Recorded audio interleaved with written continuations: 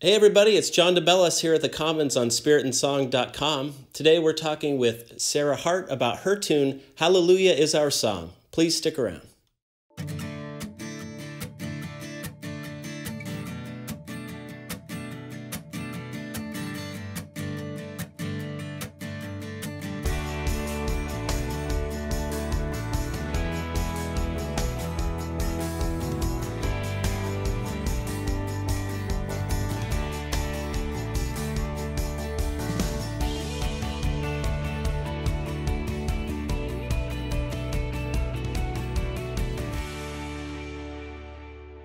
Hi, Sarah. Hi, John. Nice to It's see. nice to see nice you. to see you too. How are you? I'm well, thank you. Um, but more importantly, how are you?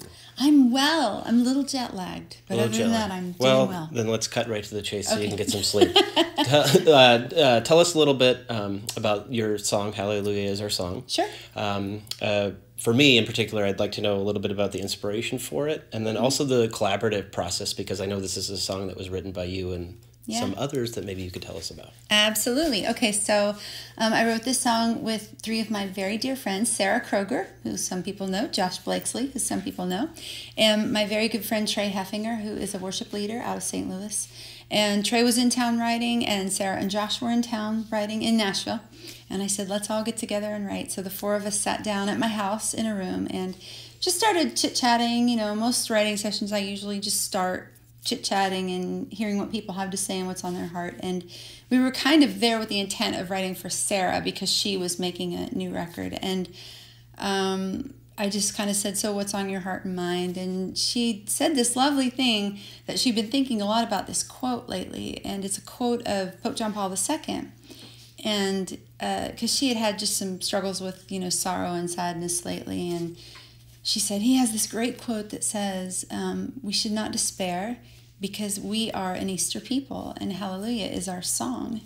And I'm like, wow, that's a great song title. So immediately we just sat down and writing. And it was very interesting because at first I just sat at the piano and started playing and singing some words. And then Trey said, What if we do it like this? And he just started stomping four on the floor, you know, boom, boom, boom. And then it became this kind of folk thing. And I'm like, Oh, I like this. I like where this is going. And this usually doesn't happen to me in co writes, but by the time we were finished with the song, I was like, Sarah, can I record this too? so interestingly enough, Sarah and I both have Versions of it, recordings of it. Two Sarah recordings of the same exact songs. And so- there's kind of that both that um, sort of bluegrassy feel to both of them. I know that Yeah. she has lap steel and yours, and you mentioned that there's there's I fiddle. definitely and- do have fiddle and lap steel, and it's it's got the thing that I really wanted was that four on the floor because it makes it feel so good. Just that drive of little pump pump, you know, it was really really cool. Um, you mentioned that co-writing process that you guys talk first, and then it. Yeah. seems like the uh, it coalesced all around that quote and that verbal idea. Yeah. Does it ever go the opposite direction, where the it starts from the music first and then the words come, or is it usually that way? Not usually. I I think that for me in the writing process, um, it's sort of pointless to go into a room with an artist or a writer. Um, without hearing what it is they want to say Right. because everybody in their spiritual walk is in such a different place and unless you can kind of talk for a little bit and speak to it and really find out a little bit about that person's heart and what it is they're walking through and what it is they're going through and something that they feel is important in their ministry to say you're kind of doing them a disservice if you're just like okay i know what we're going to write and so you just sit there and we're going to write it. I, I think it's more important to get to their heart and and find out what it is they really want to say and what they want to write about. Um, I've noticed that this song um, has the power to be uh, used and utilized as a song of the assembly, and I'm wondering what your experience with that has been in, in singing it and performing it.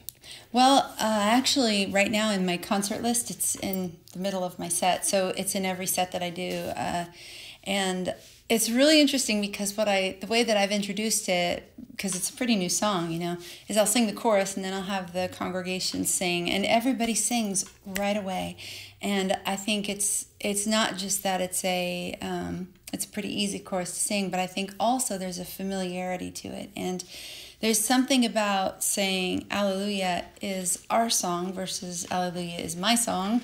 Um, I love that the word our is part of it because when we all sing it together, then it just kind of becomes this collective thing, and that's really beautiful. So so far, people are responding great when they sing it, and it's funny. I think when I wrote the song, I wasn't considering that. I wasn't thinking, oh, this could be a great assembly piece. But now that I've sung it in concert enough, I'm like, oh, yeah, this is easily an assembly piece.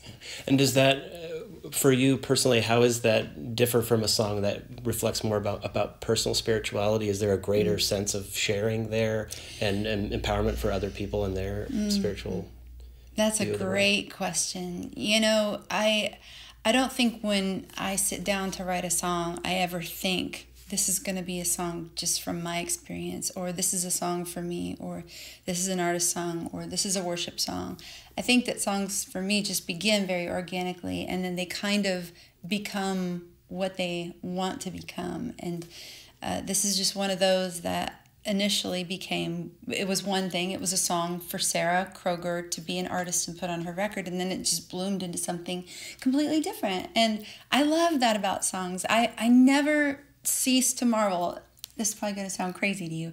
I never cease to marvel at the miracle of walking into a room sitting down with a few people and walking out of the room having created something that didn't exist before. That astounds me. And I love the process of that because it so clearly emulates just the beauty of Creator God. You know, I don't know. That's a miracle to me. Yeah. Well, and how wonderful that what you're writing about is also giving praise and thanks for that gift yeah. back to the person that gave you the gift to do it. Yes, yeah. absolutely. But I'm also one of those people who thinks, you know, if you're living a life of faith, then everything you do is informed by your faith. Whether I'm writing a song um, about God or a worship song, or whether I'm writing a song about hamburgers, or whether I'm cooking a hamburger, you know, like really all of it, if your life is informed by faith, then everything you do and everything you touch will will be some expression of that faith. Well, thanks, Sarah, very much. And uh, stick around, and hopefully, we'll hear a song about hamburgers as well as Hallelujah is our song. Stay tuned.